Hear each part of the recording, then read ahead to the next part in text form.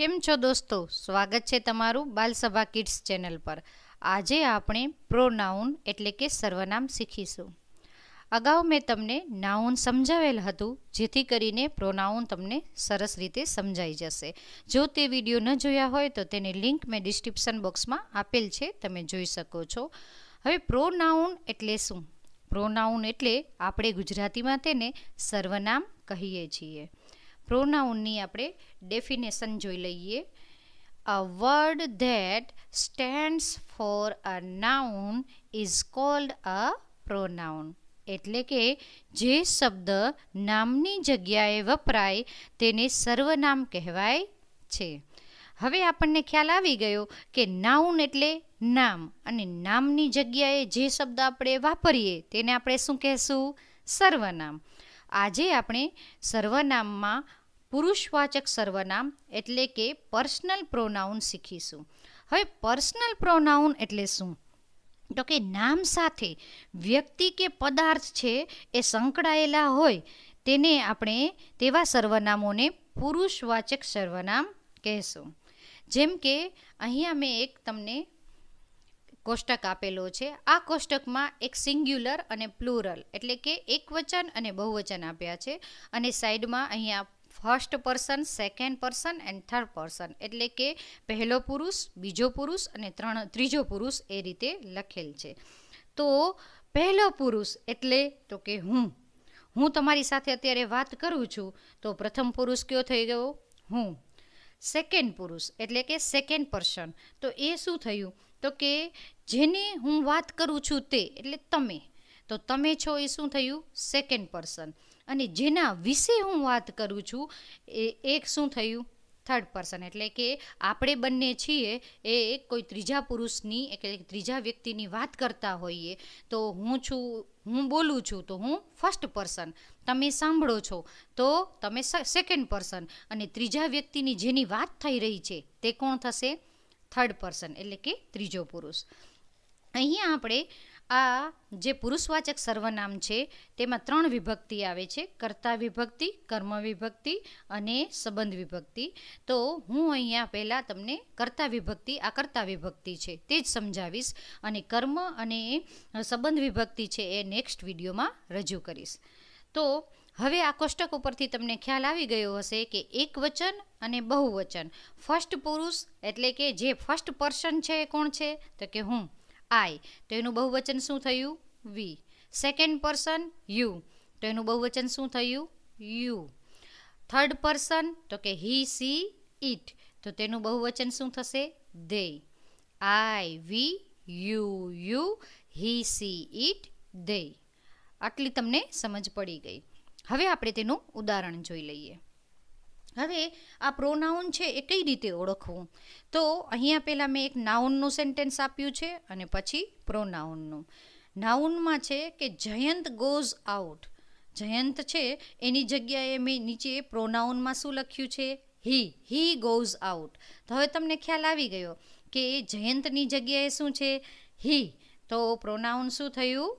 હી હવે પ્રોનાઉન છે, તેને વધારે ડિટેલમાં સમજવા માટે મેં થોડાક સેન્ટેન્સ છે, એની ચર્ચા તમારી સાથે કરીશ. જેમ કે આઈ એમ ગોપાલ. હું ગોપાલ છું. તો આમાં પ્રોનાઉન શું થશે? I you are Gita. તું ગીતા છો. તો આમાં પ્રોનાઉન શું થશે? You she is Radha. તે રાધા છે. તો પ્રોનાઉન શું થયું? સી હી ઇઝ અબ્દુલ તે અબ્દુલ છે. તો આમાં પ્રોનાઉન શું થયું? હી આ રીતે હી સી ઈટ કે આઈ વી એ પ્રોનાઉન થશે.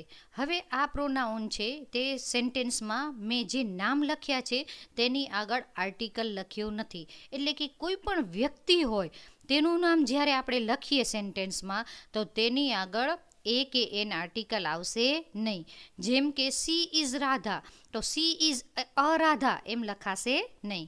કારણ કે વ્યક્તિના નામની આગળ એ કે એન આર્ટિકલ લાગતો નથી.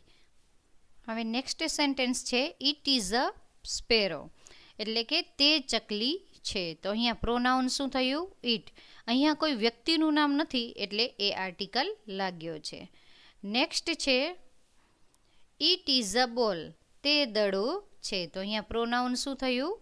ઇટ હવે આ રીતે પ્રોનાઉન છે એ આપણે સમજી ગયા. હવે આપણે જે ક્રિયાપદ છે, એટલે કે વર્બ છે, તેનો પ્રોનાઉન સાથે કેવી રીતે ઉપયોગ થાય તે જોઈ લઈએ.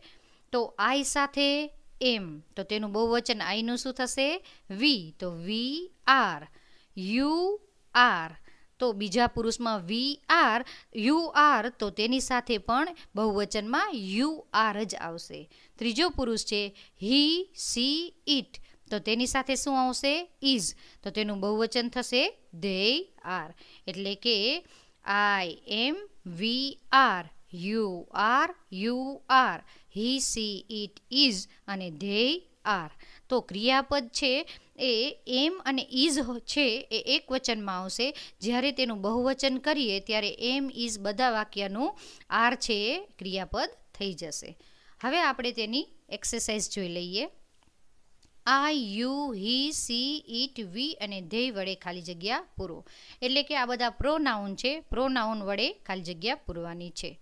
ફર્સ્ટ છે, ખાલી જગ્યા ઇઝ એન અમરેલા તો અહીંયા છે, અમરેલા, એ નિર્જીવ વસ્તુ છે. તો તેના માટે શું આવશે? ઇટ ખાલી જગ્યા ઇઝ મોહન. મોહન છે છોકરો છે. તો શું આવશે? હી. ખાલી જગ્યા એમ નિશા. આઈ એમ છે, એની સાથે હંમેશા આઈ આવશે. એટલે આઈ એમ. ખાલી જગ્યા ઇઝ નીતા. તો છોકરી માટે સી વપરાશે. તો શી. ખાલી જગ્યા આર સોહમ. તો છોકરો છે પરંતુ અહીંયા આર છે. તો શું આવશે? યુ. You are Soham. છોકરો છે, પરંતુ આર છે એટલે યુ મૂકવું પડશે. હવે અહીંયા છે, ખાલી જગ્યા આર એપલ્સ. તો દે આર એપલ્સ. ખાલી જગ્યા આર અ ટીચર. હવે અહીંયા આર પણ છે અને એ આર્ટિકલ લાગેલો છે. ટીચરની પાછળ એસ નથી. તો શું આવશે? You. You are a teacher. ખાલી જગ્યા ઇઝ અ ગર્લ. તો શું આવશે? શી. છોકરીઓ માટે સી વપરાય છે? વી આર નર્સિસ તો આ રીતે તમારે પ્રોનાઉનથી ખાલી જગ્યા છે તેની પ્રેક્ટિસ કરવાની છે. અને હા, જેમ મેં વર્બ એટલે કે ક્રિયાપદ વિશે સમજાવ્યું, તો એમ ઇઝ આર વડે પણ ખાલી જગ્યાની પ્રેક્ટિસ કરજો, જેથી કરીને તમને સરસ રીતે પ્રોનાઉન આવડી જાય. તો હવે નેક્સ્ટ વિડીયોમાં ફરીથી મળીશું. આવજો.